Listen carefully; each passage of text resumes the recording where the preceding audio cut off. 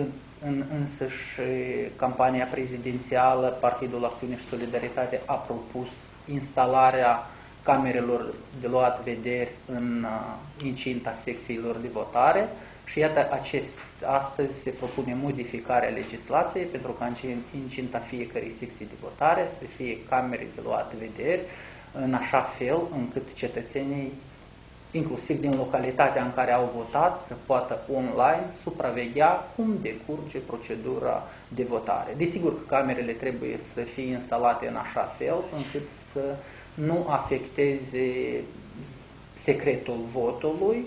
în rest să avem posibilitatea. Considerăm că aceasta va disciplina și pe însuși alegători, pe însuși membrii comisiilor de votare și va veni cu încredere a cetățenilor în procesul de votare, că el este unul corect și transparent.